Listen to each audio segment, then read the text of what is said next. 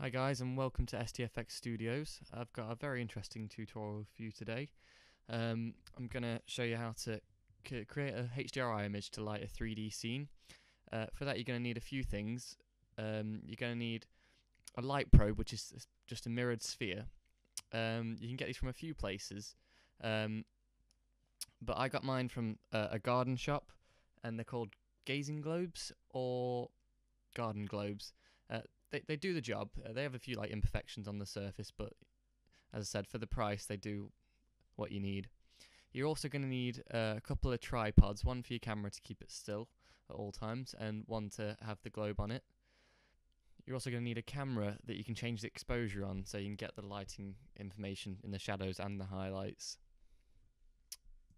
There are a couple of ways to make HDRI, but I- I'm going to show you this way because I feel it's the easiest and quickest to do.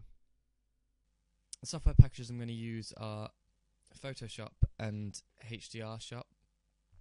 Before we can begin creating the HDRI, we need at least three photos uh, with the light probe and the camera in exactly the same position for all of them. Um, you want to be as far away from the light probe as you can and zoomed in as much as possible to keep as high resolution as you can get. And you want it, the three photos to be all at different exposures one at a low exposure, one at a mid exposure, one at a high exposure and that's so you can capture the information in the highlights and the shadows. You also want the camera to be level with the light probe when you're taking the photos. Um, the reason you want to be far away is just so you can paint yourself out easier later on.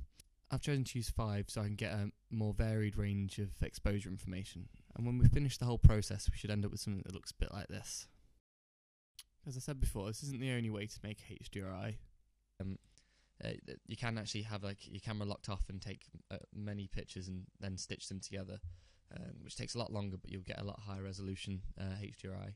But anyway, let's let's crack on. Um, so in in Photoshop, you go File, Automate, uh, Merge to HDR Pro, and then you'll get this little window here, and you go Browse, and you find your photographs, select them all, and go OK, and then it'll bring them all into here, and then you press OK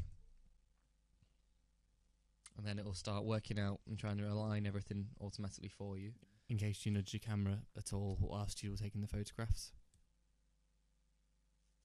Right, so this is what you should end up with. Um, I've just skipped ahead of it, uh, so you could skip the middle bit because it can take quite a while.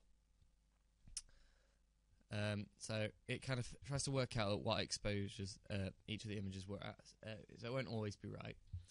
And you can choose uh, what kind of mode you want your image to be. So we want 32 bits. We want to have uh, as much information in there as possible.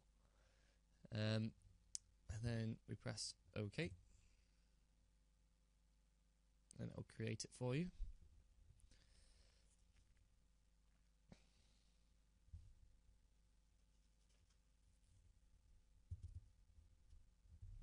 Right, and here we are. Right, and for it to be able to use this in um, a 3D package, uh, it actually needs to be unwrapped in a flat image so it can be wrapped around another sphere.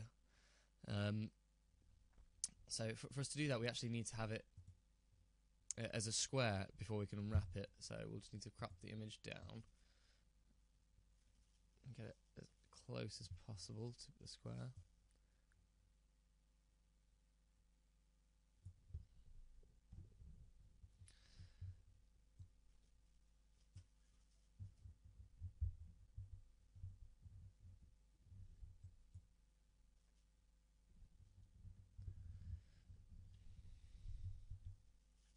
So let's just check the canvas size. Pixels. Right. We need to cut the width down a bit. Looks like we've got a bit of a gap here, so we'll take it from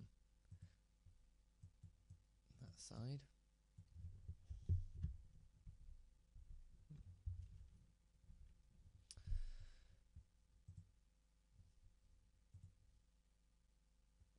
So that's pretty close. so now we want to save this out just, just so you can see, you can check the mode and it's 32 bits per channel. And we'll save it out. And we want to choose uh, where is it? HDR there.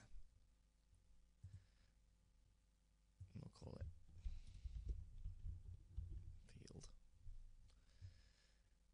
And save that. Then we'll move over to HDR Shop, and we'll go File, Open, and we'll go to our file there. And then I'll open it up there. Uh, so to unwrap it, we need to go on to Image, Panorama, and Panoramic Transformations.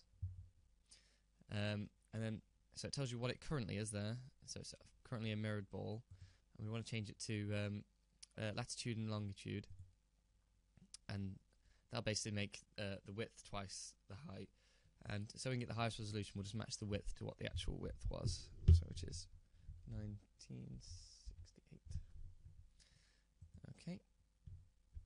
So that'll have unwrapped, that's unwrapped it for us, and we'll just save that out as we'll call it field unwrapped. I got some wires uh, tangled over my keyboard. and we'll save that. Okay, so that's that bit done with.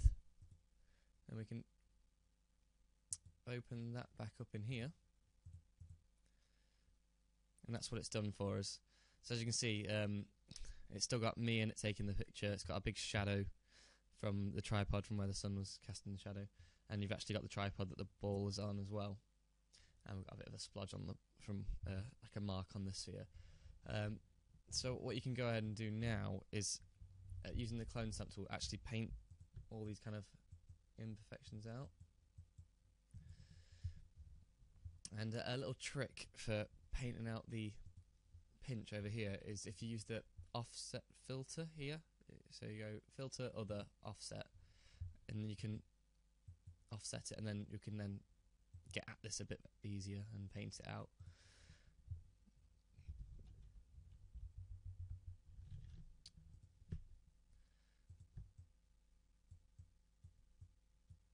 So, uh, so depending on um, whether you're going to be using these for reflections, depends on how neat you actually need this.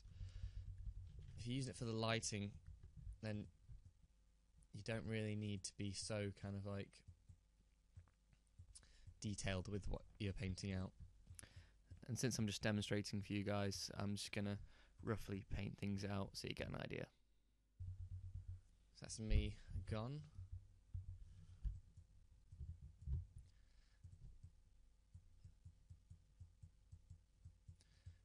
Alright, so I'm just going to skip ahead to um, when it's finished and then I'll rejoin you back once I've painted it all out. Right, I've just got to the point where I'm going to paint out the pinch. Um, there's not really a great deal you can do here, so you're just going to have kind of have to make up what was there. You can probably add a tree from somewhere else.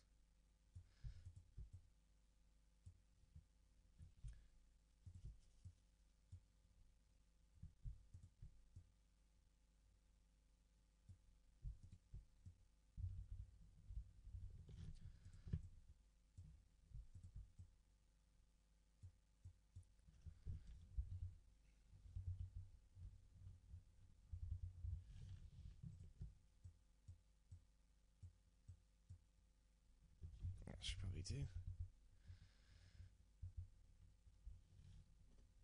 There. So that, that was after I applied the offset filter. So if I add that back on again, that should be where we were at. And that's it. So when you're saving it out, you just go save as again, and you can choose HDR. I think EXRs work as well, so you can use uh, either of them uh, to create your HDRI to light your scene. So if you've got any questions, queries, or requests, uh, feel free to leave a comment or send me an email. And if you're not already there, make sure you check out stfxstudios.com, uh, where you can find lots more tips and tutorials and have a look at some of the projects I'm currently working on. Well, that's it for now. I'm Sam Taylor, and thanks for watching.